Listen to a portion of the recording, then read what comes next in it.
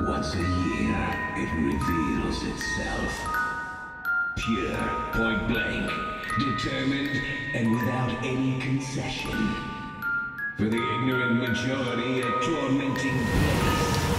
For the true believer, the ultimate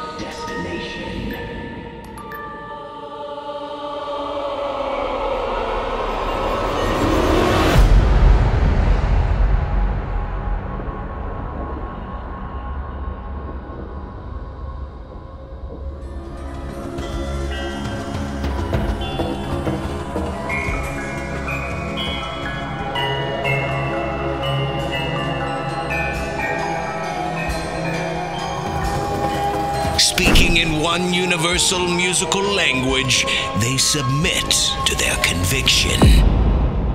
A glimpse of afterlife emerges this summer.